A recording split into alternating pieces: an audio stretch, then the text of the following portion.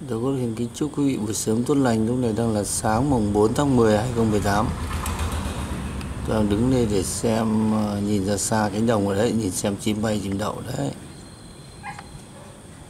Chú này vừa với đậu, vừa với bay từ dưới ờ, ruộng lên. Trông đen đen, không biết là con chim gì. Đấy.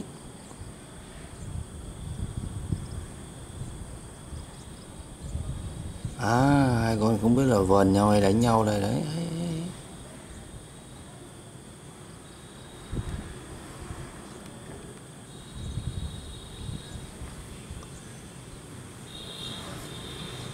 Và lúc này đã là 7 giờ sáng rồi, nắng lên rồi nhưng mà sương vẫn chưa tan.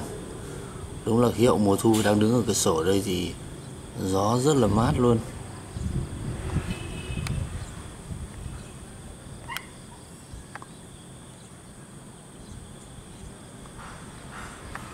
Bay đâu hết rồi